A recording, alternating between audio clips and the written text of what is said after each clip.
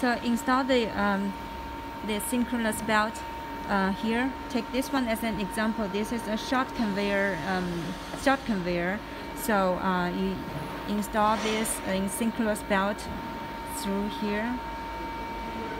And when you install the conveyor, just make sure that um, the mask body has enough space. They are on the same line, on the on the same along the same center line, so that the mask can pass through on the same same center line. And here, this this unit should uh, face at face at this and this unit and this unit.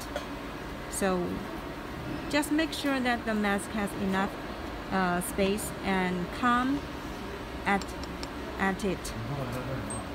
And we have marked, we have we have mark, make some mark for you.